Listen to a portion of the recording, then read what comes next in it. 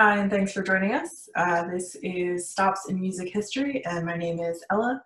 I work at the Laurel Branch with my co-worker here, uh, Martin Seeboff, who you may recognize from Great Decision series, if you have made the Great Decision and signed up for it in the past.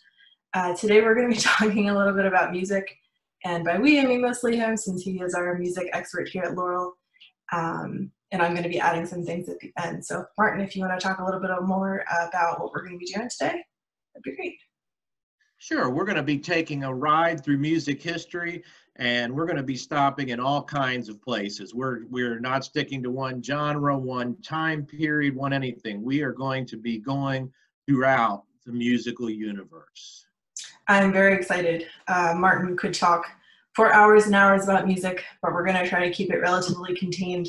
Um, we will have a link to a playlist that we've created. So if you're interested in any of the songs that Martin um, or I talk about, you will be able to access them later uh, to kind of hear what we're talking about. But for now, um, we're just going to use our words, and I think we are going to get started, I believe, in the golden age of rap. Stop number one is the golden age of rap. And you may say, Martin, why would you start a music history program with one of the genres that has been around the least amount of time? And I'll tell you why. Because I think rap gets does not get the credit it deserves for having a great history. And the golden age of rap, in my opinion, was the late 80s and early 90s. Rap was considered to be originated in 1973 by Jamaican DJ Kool Herc, and he was a DJ in the Bronx, New York.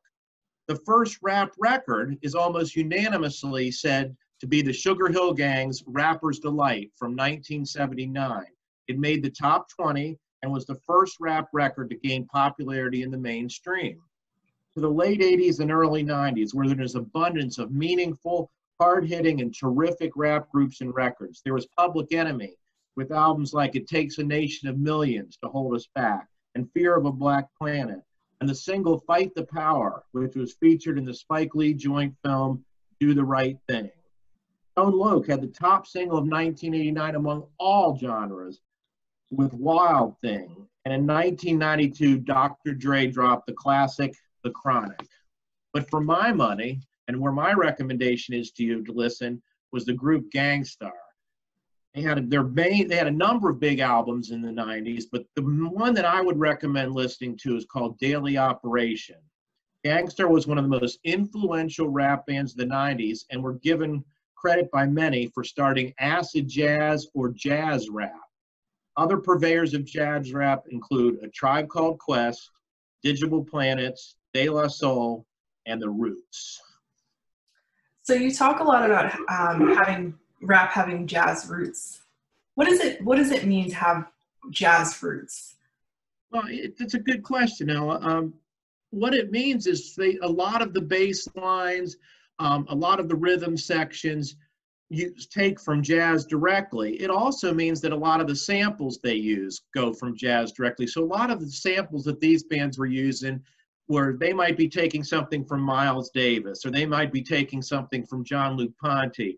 But they would do little samples from jazz groups and have a general tone of jazz in the background while still having rap and heavy bass lines in the foreground. Huh. I did not know that. I was one of the many people that assumed that rap was relatively recent. So um, I'm, already, I'm already learning a ton. I hope our viewers are learning a ton because um, I did not know that. So, so rap started with Drake, right? I, mean, I mean, kind of. Um, but I, I think that'll be a common theme of you telling me something and I'm like, oh, I didn't know that and never thought to think that I didn't know that. So uh, thank you for sharing and answering my question. You're very welcome. Stop number two in our music history is with the god of folk rock and is one of the most talented and influential folk rock artists of our time, the legendary Richard Thompson. Thompson is particularly renowned for his songwriting and guitar playing. Thompson first gained prominence in 1967 with the British folk rock group Fairport Convention as its lead guitarist and principal songwriter. In 1971, he left Fairport to form a band with his then wife, Linda Thompson. Under the moniker of Richard and Linda Thompson, they produced six albums, culminating with one of music's greatest albums of all time, Shoot Out the Lights, featuring blistering guitar work by Richard on the title cut and incredible vocals by Linda on songs like Walking on a Wire and Did She Jump or Was She Pushed? Very optimistic songs, as you can see the Thompsons, right? Shoot Out the Lights, in my opinion, is the single best look at Richard Thompson, and really Linda for that matter as well. In 1983, Richard and Linda separated and began a remarkably consistent solo career with lots of good work and a few notable highlights. The album Rumor and Sigh in 1991 contained a number of them. Thompson's song 1952 Vincent Black Lightning about a motorcycle was named one of Time magazine's top 100 songs from 1923 to 2011. And the song I Feel So Good, I'm Going to Break Somebody's Heart Tonight was the closest thing to Richard Thompson ever had to a big hit single. So, so my first question is, who named these songs? Because they have pretty like aggressive titles. Um, are they mostly Richard? Where was Linda involved too? Um, uh, Richard is the primary songwriter. There was a song or two that Linda would co-write with, but all these song titles, both in his solo career and in his um, career with Fairport and Linda, he was the principal songwriter. Yeah, that, makes sense. All right, well, it's fancy. Um, so you, for no, stop number three, you're going to talk about classical music, and I am really interested to hear you talk about that because I often forget that that's a part of music history. and actually, classical music is probably the greatest uh, bit of music history if you talk about historical, with a lot of the main purveyors being in the 1700s and 1800s. So we're going to talk about the three B's of classical music and those are usually referred to as Johann Sebastian Bach, Ludwig von Beethoven, and Johann Brahms. Sometimes they're even referred to as the Holy Trinity of classical music, with Bach as the Father, Beethoven as the Son, and Brahms as the Holy Ghost, Holy Spirit. Many con- critics consider Bach as the greatest composer of our time, and it's really hard to argue that because to me, his organ works are his greatest gifts to us.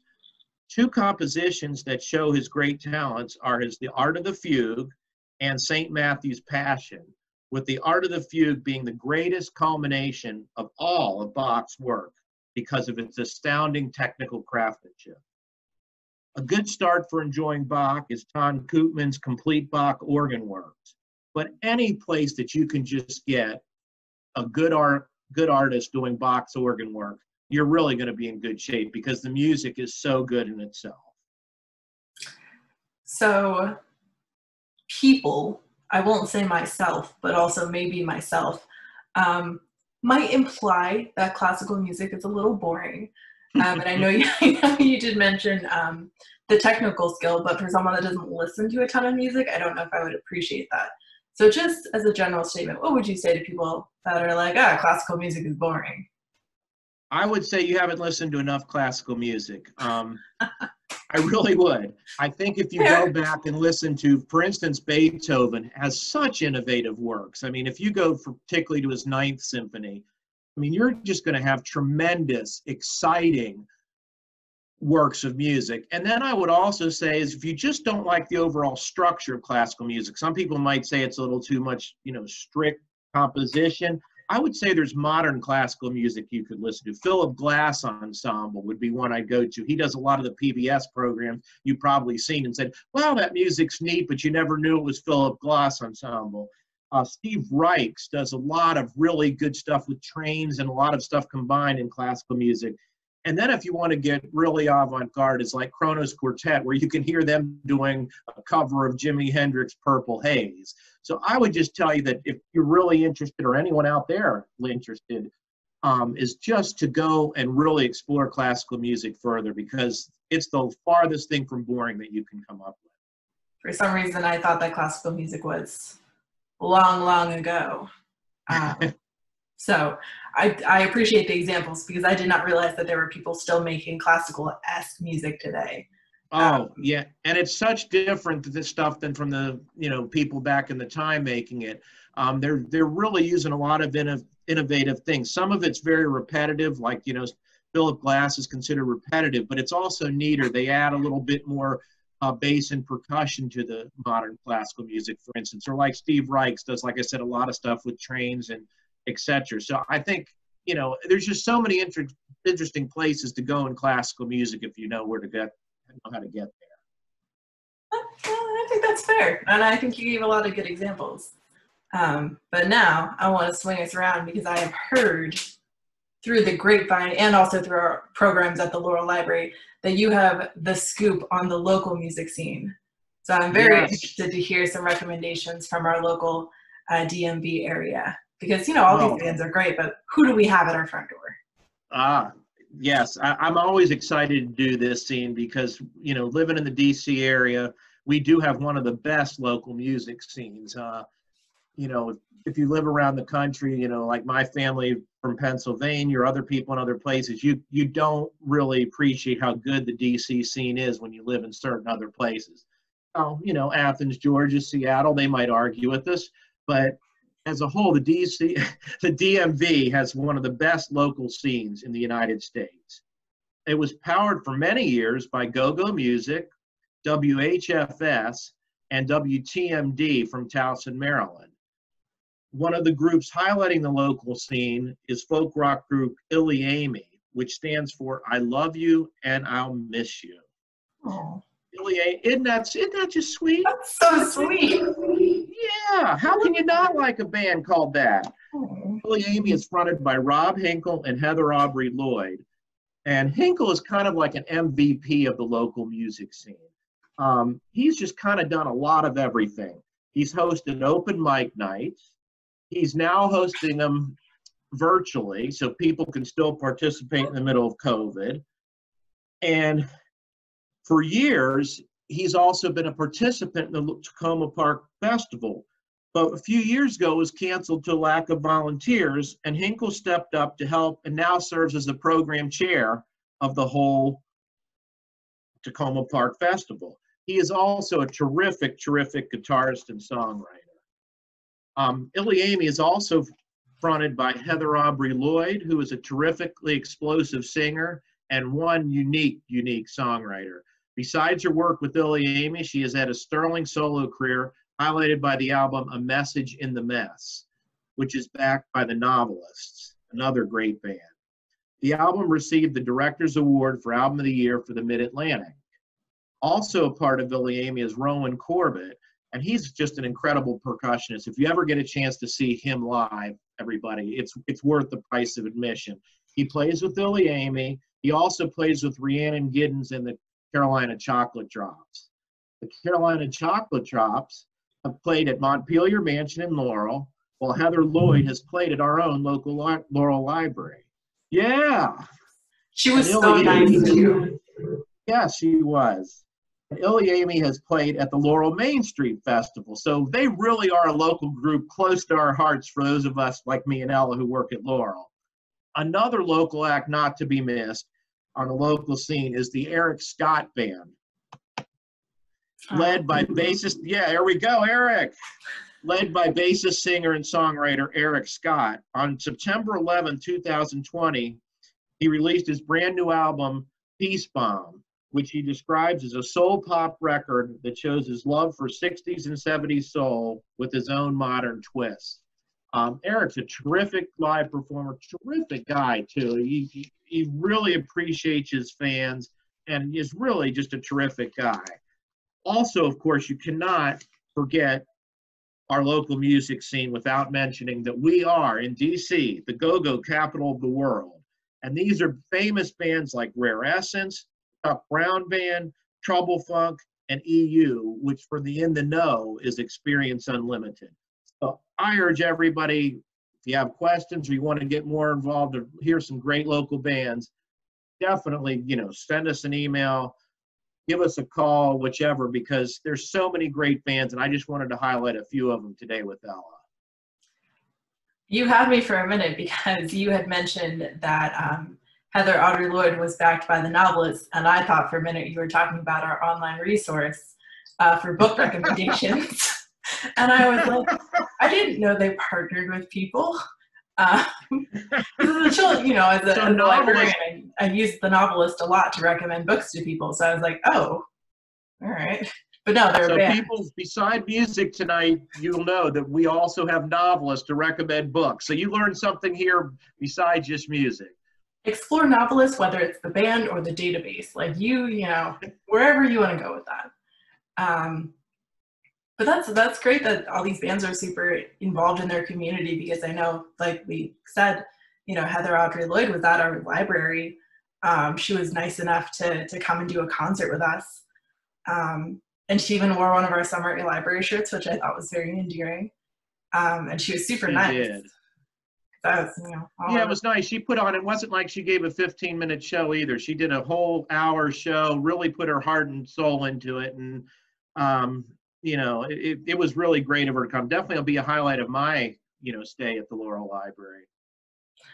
I am excited um, that you mentioned that we, you know, I know you personally, so I can reach out to you whenever I want, which is a privilege that I abuse. But um, I, I do encourage people to reach out to us for recommendations because I feel like normally if I'm looking for someone local, I just kind of walk into a local, you know, what word am I looking for? Venue. Um, and I'm like, okay, I've heard of this band, but I never heard of this band. And I look them up and I'm like, oh, okay, cool. Um, but I think now that everything's still kind of closed, like it's hard to find local recommendations. So I definitely do encourage anyone that's looking for to support their local artists to reach out to us because I might not have a lot of recommendations, but Martin has a ton of them.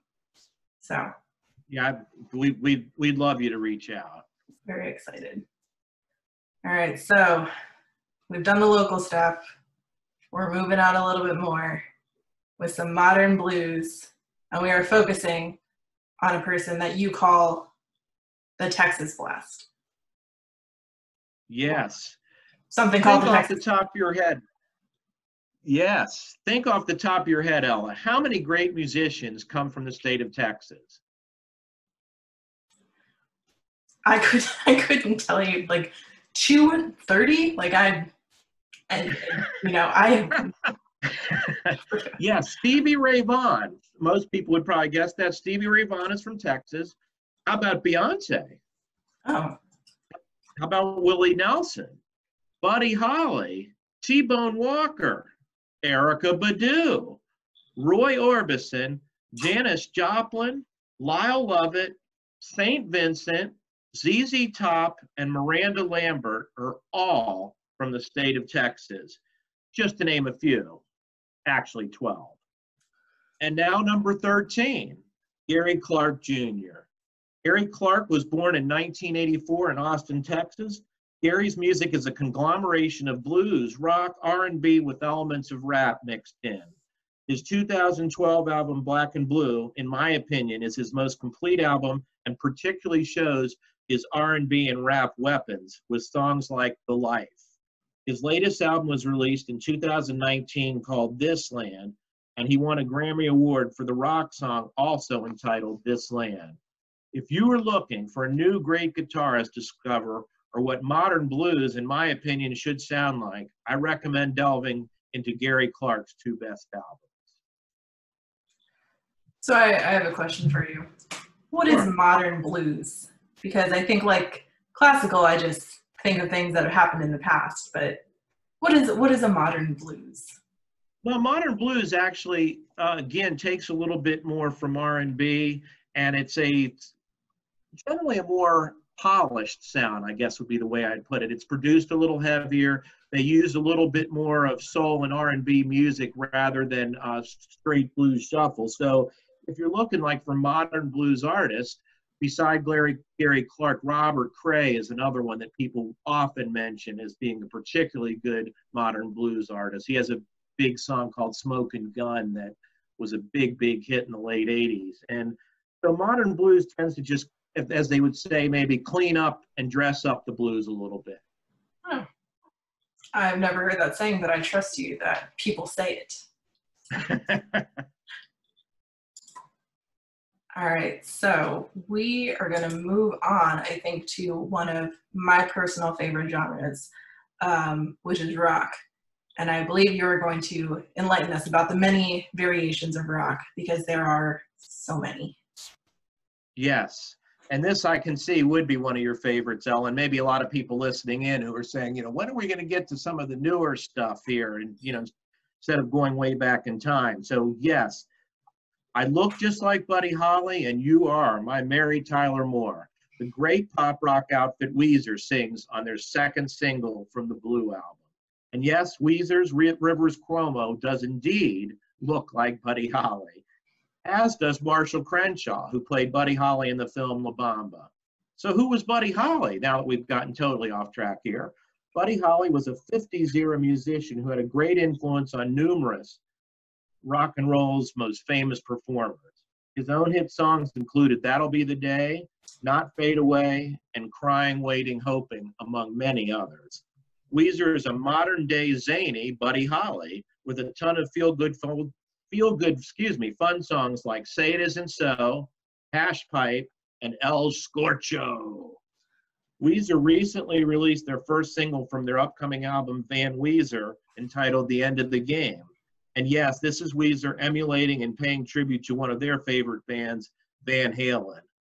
Rest in peace, Eddie Van Halen. And yes, rock and roll still marches on. If you truly want to experience the best of Weezer, then the Blue and Green albums would be where I would start with this great band. I will. I'm glad you mentioned Weezer because when I talk later, Weezer was actually set the foundation for what I'm going to speak about, which for now is a mystery. Um, but I'm glad that you didn't bring him up. And ah, so yeah, it's a little little teaser right there, but yeah. Yeah. So, so we've done a lot of really fast-paced stuff, um, but I would like to move on to, as you call it, the soul of relaxation. And Lord knows we need it. We all need to relax, not just you, Ella, in this case, but from COVID to the upcoming election to are we going to have a job tomorrow? to I love my kids, but they're driving me freaking crazy. And when and if are things going to go back to normal? Whatever normal means as musician bruce Cockburn sings the trouble with normal is it always gets worse. But in the meantime we definitely have some things for you to relax here today first i recommend the music of Sade the smooth r&b soul operator on October 9th, Sade released a six album vinyl box set entitled This Far, which includes all of her studio albums up to date. If you don't have your record player anymore, you can buy the CD or stream Sade's albums. I recommend starting with either the Stronger Than Pride album or the Love Deluxe album, which features the Sade classic, This Is No Ordinary Love. Another artist I recommend for relaxation is pianist George Winston. This is solo piano work truly at its finest. George has made a number of albums based on the season. And I recommend starting with autumn and then going to his winter album. And if you want a little classic rock, like you know, Ella I wanted, was dying to get the rock in here, you can get some rock and roll from your solo piano work and listen to Night Divides the Day the music of the doors. One thing I would like to point out at this point that again is not uh, strictly musical is my colleague Will Frolic Along um, airs a guided meditation program that's on most Fridays at four o'clock. Um, he's got a playlist of the meditations available to stream anytime at the PGCMLS YouTube channel. And the meditations are simple, they're straightforward and short. Most are only about 10 minutes. And they are written so anyone meditating for the first time can participate and get a lot out of it. And I know because I have participated and watched Will. And so he is every Friday or most every Friday at four o'clock, usually runs about a half hour or so. And his guided meditations are terrific. Uh, Will works over at the South Bowie Library and uh, is one of a good friend of both Ella and mine. Um, his programs are really good and relaxing. Um, so, Martin, you had mentioned records, and I don't believe it was you. I think it was our coworker Jim. Uh, that was the first one to tell me that records come in different sizes, which I did not know. Uh, but um, I know that vinyl is making a comeback. So if you had to choose between vinyl and like CD, do you have a preference? Do you think there's like a, a big difference between them? There is a difference, and I'll point out something before I answer my personal opinion on this. Is if you ask any music artist out there, I mean, it's like 99 to 1. Every single one of them is going to tell you they like vinyl better. Oh. They think the sound is more fresh. They think uh, it's more authentic.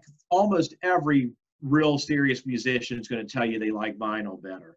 Um, for myself, it's a little bit more mixed. Um, I do agree that if you just give me a, a fresh vinyl record versus a fresh CD, that I much prefer the vinyl as well. But you know, I'm old enough to remember the clicks and the clacks and the dust and all the stuff that happens to your vinyl records after you have them a while. Or if you have a favorite album, you sit there and listen to it 200 times like I do, you know. So I think it's more mixed. I think, yes, at its ultimate, I prefer vinyl, but still CDs are a little easier to move and they tend to last a little better, a little longer. I think that I have really only had in my life, my lifetime, uh, the cassette and the CD. So it's been really interesting seeing vinyl in my experience anyway, making a comeback because uh, I didn't get that on the first rounds. Um, I know we're not here to plug any businesses, but where do you normally get your vinyls from? Well, um, Joe's Record Paradise in Montgomery County is the one of the main places that I get my vinyl from. Um, it's uh, Joe Lee, former son of the governor Lee, and um, also from uh, old WHFS, uh, Damian works there. Damian Einstein, which a lot of people listening to this probably know of. He was uh, one of the legendary DJs for WHFS in its prime. So it's a really good shop with a ton of variety and uh, couldn't recommend it any higher. I will have to check it out when things uh, are more normal than they are now. Yeah, Joe's Record Paradise, people. You heard it here, folks. Straight from the source, straight from the master. Uh, all right. So earlier we talked about a god, but now I'd like to hear about the master of jazz violin returning back to jazz in some form or another. Yes. Jean-Luc Ponty, the master of the jazz violin, and he is without a doubt one of the premier violin virtuosos of the world. His unique stylings and innovative approaches have even had him compared to rock guitarist Jimi Hendrix, as in Jean-Luc Ponty is the Jimi Hendrix of the violin. Ponty has had a long, successful solo career and has also had many collaborations with famous musicians in the jazz and rock field, including Allan Holdsworth, Al Di Meola, Stanley Clarke, Bela Fleck, Chick Corea, Elton John, Frank Zappa, and Jon Anderson from the rock group Yes. If Ponty has a signature song or a most popular song, it might be Infinite, Infinite Pursuit, which was the theme song from the 1988 Winter Olympics. If you're looking for albums of Jean-Luc Ponty to start your listening tour with, I recommend Enigmatic Ocean, featuring the four-part title track. This album went to number one on the jazz chart and landed in the top 40 of the pop album chart. Ponty, always a terrific live performer, is shown at his best on Live at Chene Park. And also, this album captures songs from all points of Ponty's long and prolific career, making it a great starting point for your listening pleasure into Jean-Luc Ponty. So you said that he's the Jimi Hendrix of, I believe you said jazz violin, but you might have just said violin. Um, what does it mean to be the Jimi Hendrix of anything? Yeah. what does that? You know, what does that even mean? Well, when you talk about Jimi Hendrix, you're probably talking about the greatest guitarist in music history and also the most innovative. I mean, Jimi Hendrix was just one of those guys that came on the scene and just changed the rock guitar. And Jean-Luc Ponty is sort of like that with the violin. I mean, it, it wasn't a normal instrument that, you know, millions of people were playing electric violin and making them into rock songs, jazz songs, classical songs, everything. He just came on the scene and really reinvented how the electric violin was used and played. And so when you say somebody's a Jimi Hendrix or something, you're talking really two things. You're talking one superior, prolific work on the instrument. You know, literally the best in the business on the instrument. And then you're also talking innovation. You can't just be a technical person. You've got to be able to something that innovates others. I mean, the only one in my lifetime that I consider close to that would be Eddie Van Halen. The same way, when he came with the rock guitar in the late 70s, everybody from the 80s and 90s started playing like him because it was so different and innovative. That's what you wanted to play like. And that's sort of the same sense with Jimi Hendrix, sort of the same sense with Tom Lupon. Those are people you emulate and that were innovative when they came in. Awesome. That's that's very high praise and also a lot of criteria. So um, the criterias are mine. you have to be this, this. I can see why he's, you know, the standard because very few other titles uh, would probably fit all of that. So yes, I will accept a Jimmy Jimi Hendrixing as a criteria of things. Uh, so that's fair. Well, at this point, I think we're turning it over to you. Yeah. So it's now time to hear from Ella, and she's going to take us on our next two stops. Yes. So I'm going to start uh, with rock, and I'm about to start with the saddest rock I know, um, which is emo. Rock is probably my favorite genre slash one of the only ones I know. Um, but yes, I'm going to talk about the saddest music that I listen to, which is kind of emo leftovers from my high school years. Um, and there are a few different subgenres of emo, um, but I'm going to focus on emo rock, which is my particular favorite. Um, and kind of the emo subgenre slash subculture. Um, what makes it emo is that it's usually associated with a lot of emotion and uh, sensitivity. And it is actually, um, it started basically with the 80s with uh, punk culture in the Washington, D.C. area. Uh, so another great thing to come out of this local area. Um, so it started with 80s punk. It kind of went into emo as a beginning stage, which was called emotional hardcore. Um, and then that actually branched off into screamo, which is emo, but a lot of screaming. And then where we're gonna stop is the golden mainstream age of emo music, which is the 2000s. Um, but since then, it has actually gone underground, come back in the 2010s, and now is kind of all over the place. A lot of the bands that I liked in high school actually now do new wave music most people that were emo tend to be going new new wave music, so I'm not sure what the correlation is, but that is how they've gone. Um, so some of the bands that I think about a lot when I think about emo, high school, sad music time, um, there's the category of everything sucks and I'm angry about it, and that's going to be My Chemical Romance. Um, Panic at the Disco, both of those bands actually reject the title of emo They've spoken uh, at length about how that culture of emotion tends to be focused on depression and self-harm. So they have actually talked in depth about how they don't want to be associated with emo um, because of that kind of like darker subculture. And then um, Fall Out Boy, I would also, their earlier stuff, kind of being like everything sucks and I'm kind of angry about it. And if you're familiar with any of those bands, you know that they've kind of branched away from that. Um, that's kind of how they started. And then we have everything sucks and I'm sad about it, slash everything sucks, but I'm gonna like do my best. And that would be Relient K, uh, White T's, and Boys Like Girls.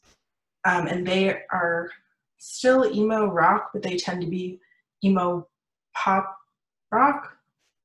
So there's like a lot of different additives in there. Um, they tend to be more like upbeat, uh, but the kind of thing that brings them all together is going to be kind of that they are emotional, shy, sensitive, angsty uh, kind of band. So um, as far as music that I think everyone should kind of listen to from these genres, um, My Chemical Romance, their song, It's Not a Fashion Statement, It's a Death Wish. You can kind of hear a lot of that like depressive, sad, angsty um, kind of feeling.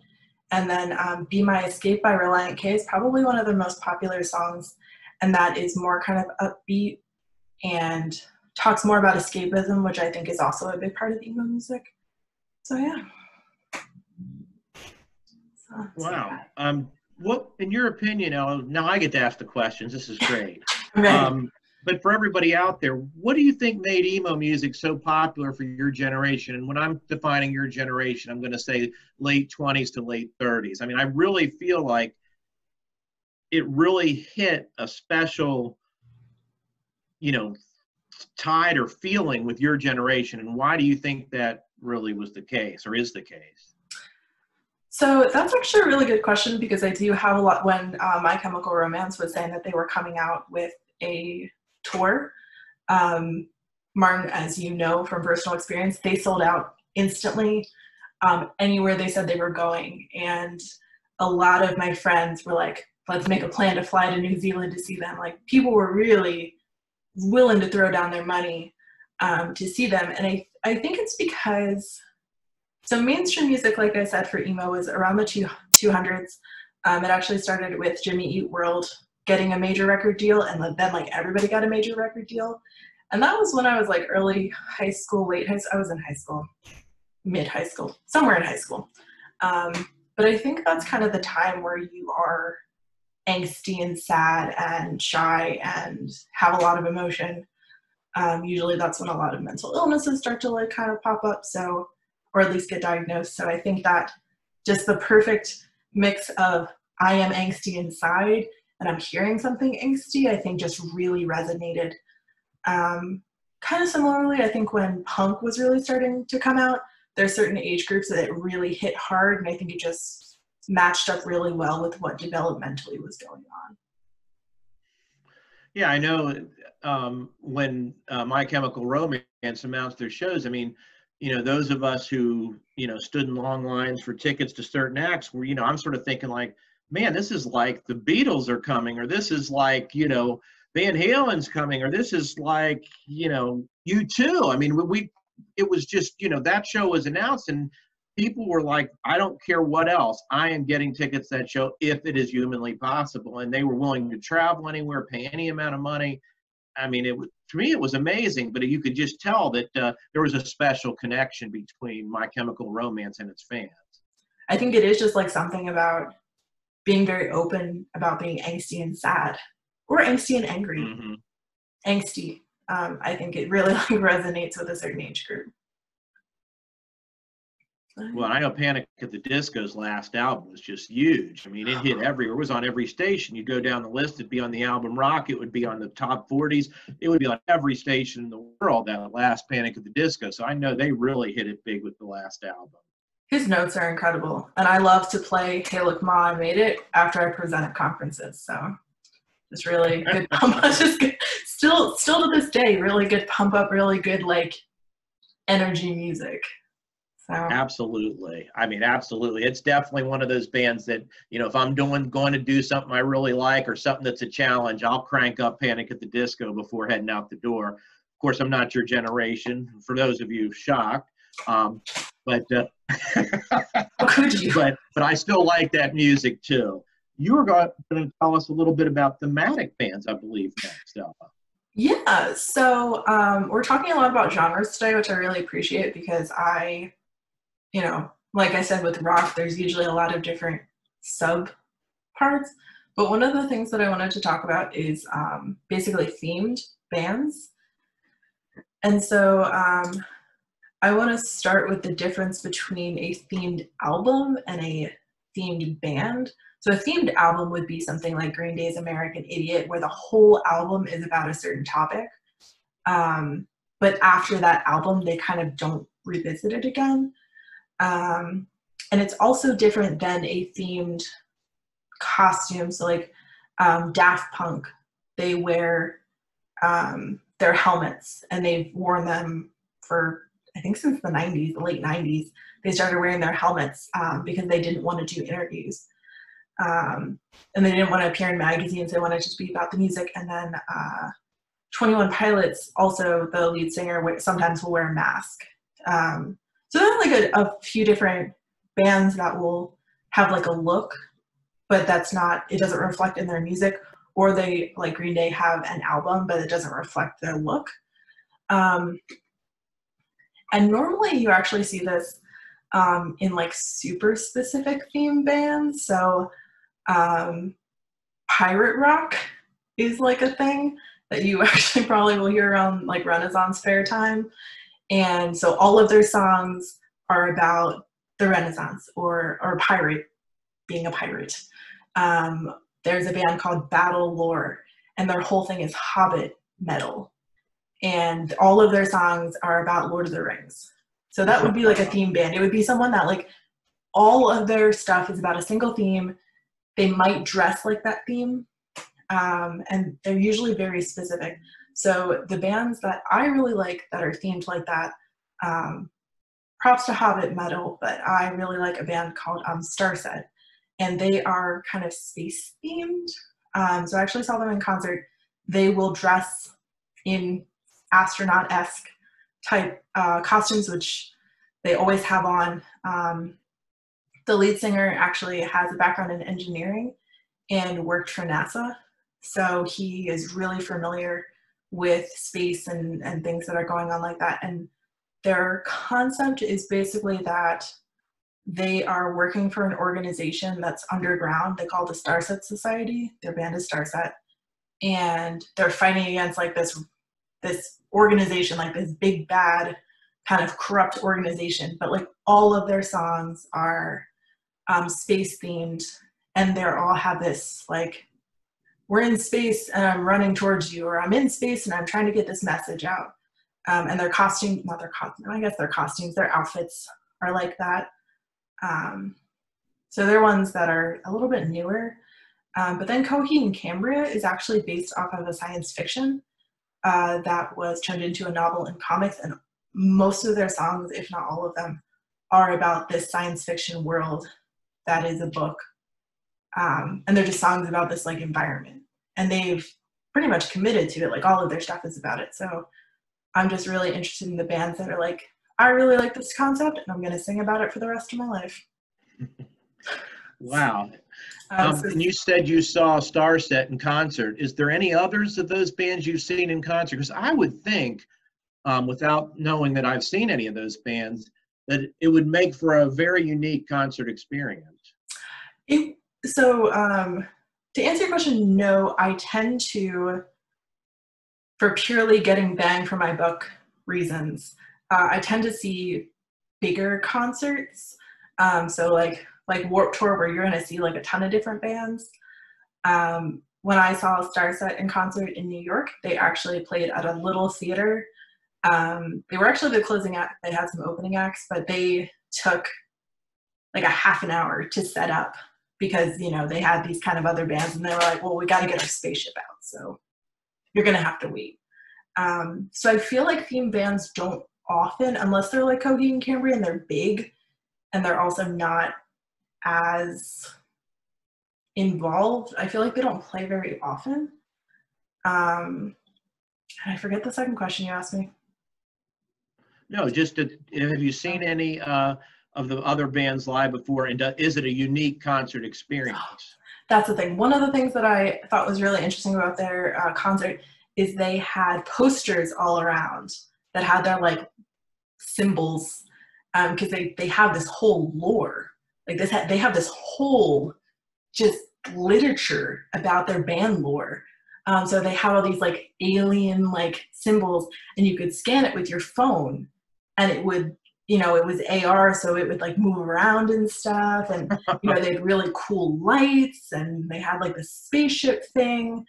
Um, and they played, they had a screen behind them and um, they played clips of some of their music videos, but like the theatrical part. So it wasn't like them singing, it was them like running from the authority or like, you know, crashing on a space, like, a, you know, the very theatrical parts. So it was a, it was a whole experience. It was like a whole thing, um, and it definitely was really unique. So they they um, they came out with a new album not too long ago, but um, if you if you listen to one song by them, I would definitely recommend Halo uh, because it is about as all their music about being in space, um, but it's also kind of romantic. I really like that, and it, they're worth watching the music videos for because you can it's almost kind of like watching a tv series you can see what's happening throughout it um and the is that going to be on our playlist that we offer people later? It is so i did oh, add um halo to our playlist. Um i think their whole album is on there it's worth a listen. Um that album specifically i think is their best. They have four albums so far i believe. Um, somewhere right in the middle where they were really committed and probably not as tired because we're all tired now. Um, but they were like really into the whole um, theme. There's some other uh, songs that are really good. Satellite, again. Their songs are things like Halo, Satellite, Transmission. So there are a lot of like space communication themes. Um, and then for Coheed and Cambria, I don't think there's one song that really sums up their theme because their their whole discography um, is is the theme. But um, their song "Welcome Home" I feel really emphasizes their just their vocal style. So that'd be the song I recommend from them. But I think that we should, you know, we've been talking a lot about concerts and our experiences seeing music face to face, and obviously that has changed. You know, there's no awesome concerts. We're not in any amphitheaters, um, and all of that's because of COVID. Um, so I'd be interested to hear you talk about kind of the influence that COVID has had on music. Well, yeah, and I think you know this is probably one of those things where you have the impossible job. Hey, Martin, let's talk about music and COVID and talk about you know some positives with COVID. It's like, come on, you've got to be kidding. But there is actually some great, great COVID songs that are out there. Um, going to mention just a number of songs that are really good. And you might men- hear some artist names. You're like, oh, wow, they did a COVID song. Oh, they did a COVID song. But I'm going to mention a few, and then I'm going to talk about a genre of music that really specializes in COVID songs that I think does it better than all the other genres out there. Um, Randy Newman does a typical Randy Newman ironic, sardonic song called Stay Away. And you can kind of get the gist when you just by the title. Um, the Rolling Stones, the world greatest rock and roll band, does a song called Living in a Ghost Town, which is also um, a great COVID song. Now, my personal favorite COVID song is by 21 Pilots called Level of Concern. And you had mentioned them earlier in your presentation but it's really, really good. It's actually a danceable, grooving song that talks about the level of concern with COVID. Um, Benjamin Gibbard from Death Cab for Cutie also does one called Life in Quarantine. That's really, really, it really hits you in the heart. Um, but for me, the genre that does the best job with a COVID songs is country music. And you know what they say about country music? It was written on three chords in the truth and there is some really good three chords in a true song. Uh, Dolly Parton does one called When Life is Good Again, and it talks about all the stuff she's going to do once COVID's over and she can get back to doing it. And it's very wistful and very wishful at the same time. And uh, it's a really great piece of work. Uh, Luke Combs does one called Six Feet Apart. Um, Ada Pambrick does one that's really also in the line of uh, like Dolly Parton's called Between Me and the End of the World. And then if you just want fun, Big and Rich also does one, and it's just simply entitled Stay Home. Sometimes simplicity in messaging is the key. And it's just such a feel good song about telling everybody all you got to do is stay home. There's no big things. You don't have to be smart. You don't have to be stupid. You don't have to be in great shape. You don't have to have the best idea in the world. You don't have to have a fancy car. All we want you to do is stay home. And that's big and rich. And it's a, it's a lot of fun for a COVID song, believe it or not. But I've listened to some of the COVID songs that you've, you've um, recommended. And I know that for me, I feel very comforted, but I also feel very sad. Um, so how, how would you say that you feel when you listen to these songs? Because I feel like everyone kind of, you know, feels differently. I think that's a good way. I think some people, you know, are going to come and say, you know, the last thing I want to do is hear COVID songs. It's just, you know, I live with it. I, you know, I've had family members sick or, you know, and I can definitely understand that point of view. But for me, it really helps. I'm feeling all those things anyway. And then to listen to songs, and I like the different angles. Like I really like listening to, let's say, Dolly Parton and then filling it up then with Big and Rich and sort of chuckling, and you know, or Randy Newman, you know, being that just you know the grouchy old uncle type of song, and then you know going to listen to something you know totally different than that. So I think for me, it it helps. I think you know I'm one of those that music almost always helps. If I'm in a good mood, I like to get songs playing, get me in a better mood. If I'm in a bad mood, I like to listen to music to help me get out of it. So for me, it's very very helpful. That's that's fair, and I think that's a good point of feeling connected. You know, because yes, this is the time of of not being connected to anyone. So um, it's kind of nice in a weird way to know the world is kind of going through it together. And I hope that people watching this will let us know, you know, how they're feeling. You know, because I know we talk a lot Absolutely. about it in children's services, but you know, we miss our patrons terribly. Um, so we miss being in the branches, you know, and open. So uh, Absolutely. It's like, you know, th- what I got into the library job for was that customer service experience, the doing programs with people coming in and live performances. And we're just making the best we can do with something like this today. Yeah. So, so quick plug if you're watching this, we miss you a lot. We wish you were in the branches. We wish we could do more for you. And one day we will all be together again and not terrified that we're going to die. But until then, Amen. streaming into your Amen. home, streaming into your home through YouTube or wherever you're watching this. So, absolutely. So, I know based on your desk at work that you have a favorite band. Um, he is known as the king of blues rock pop, which is a lot of lot of words in there. Um, so why don't you t- why don't you tell us about that?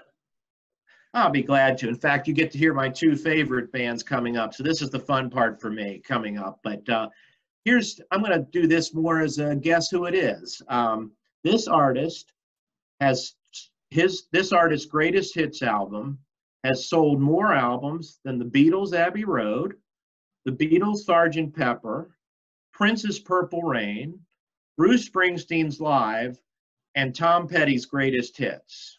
This artist has also sold more albums than Rush, Green Day, Johnny Cash, Sade, and Earth, Wind, and Fire.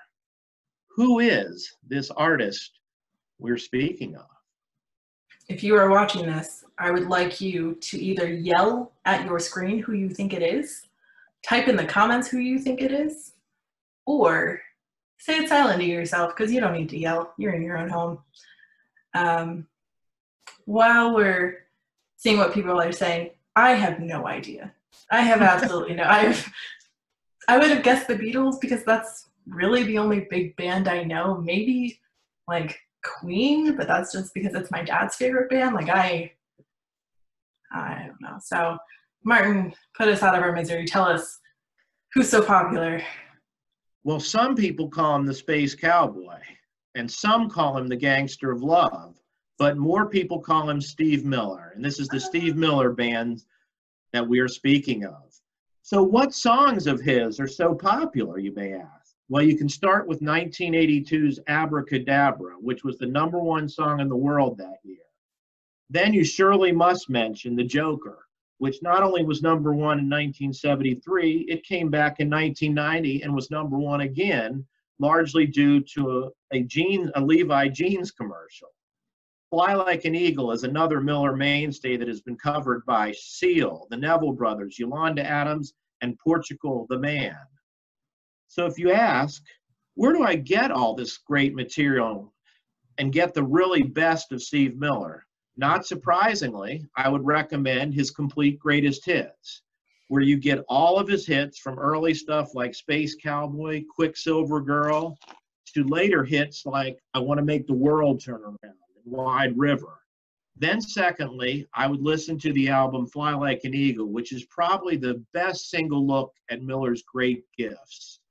It goes from the number one song, Keep On Rocking Me, Baby, to a cover of Sam Cooke's You Send Me, to playing blues with James Cotton. This album simply has it all. So if you're watching and have never been in the Laurel Library, this is exactly how Martin acts at work So when we reopen, please visit us and experience this in person. This is not a one night show, people. This is all the time. Every day. Every day. Every day of every hour. Every day. So so I have a huge question. Um, I did not know that about Steve Miller. Uh, is, is it Steve Miller or Steve Miller Band? It is technically the Steve Miller Band for all but one album. So it is the Steve Miller Band, but the only constant is Steve Miller. The band has evolved through its, oh my God, let me count the years quickly in my head. Uh, it's evolved through the uh, 53, 52 years it's been around. So yes, it's he's the only constant in the Steve Miller Band. That is so many years, but good, good for him. Good for him. Um, why? You can't ask me because I don't know anything about music. But why do you think most people probably don't know that? Because I that would not have been my first guess.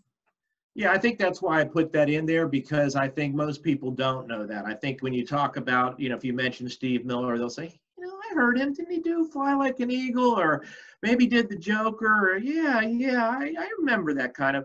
And I think it's mainly because he's not a visual act. I mean, he was mm-hmm. definitely, even though he was popular in the 80s, um, the videos that he did mostly did not include him. And even as a personality, he doesn't do a lot off the stage. Uh, one of my favorite stories that I've heard him tell is that he can ride his bike before the show at his own concert and still not be recognized. And you think that's ridiculous, but you're seeing 20,000 people waiting to see this act. He's a huge concert act, and he can ride his bike through the show or take a walk in the parking lot of his own concert that people are coming to, and they don't recognize him. So I do think it's a lack of visual act, a lack of being a strong personality. I think he's a guy that gets a real thrill out of just playing his music and living a relatively private private life on the outside. That's really interesting because um, one, he's been doing this so long. So really, at some point, I'm surprised people weren't like, "No, I'm going to figure out who this man is." um, and two, because you know, like I mentioned in my themed band part, so many people go out of their way to make sure they're not recognized. Like they wear costumes and masks and create these like personas for themselves. And he's just like, hmm, I'm gonna be private, and that's the person I'm gonna be. So, yeah, it really is true. I mean, as he said, one other interview mentioned that you know he just goes out in the parking lot when it's ready for the show. He puts his sunglasses on. That's his only dress up thing. As some shows, he wears sunglasses, and that's it. Pretty plain and simple. Just uh, does his thing, keeps his privacy, and sells millions and millions of records. I believe it's 80 million records uh, total sold. But I have a follow up question because you mentioned, you know, obviously that he is very private and the shows aren't very visual. Why do you think they're so popular?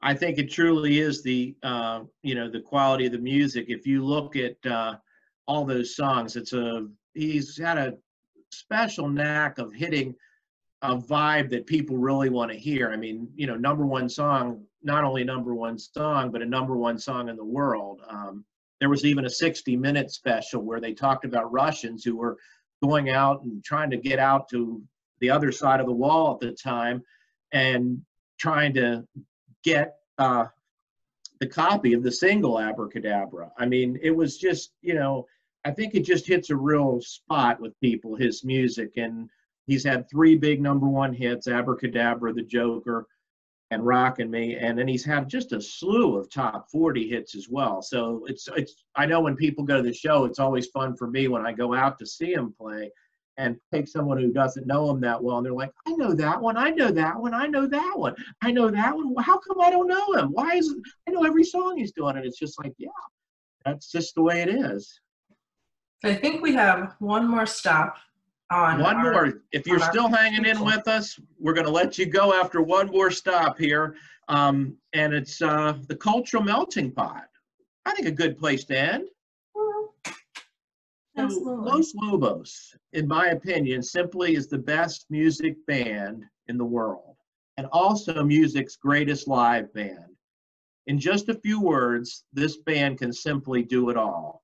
Los Lobos has sold millions of records, won many awards, and received an abundance of critical acclaim. but perhaps its most lasting impact will be how well it, its music incorporates the American ideal of a cultural melting pot.